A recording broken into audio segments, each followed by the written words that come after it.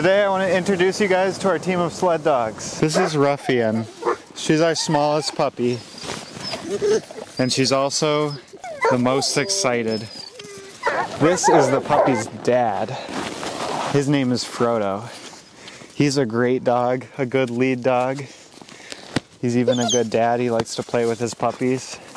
By far, our smartest and most experienced dog is Rousey. Hi, girl.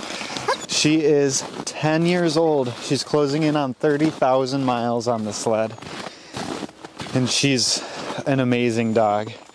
But she's getting up there in age, so she gets a little bit tired if we do a longer run.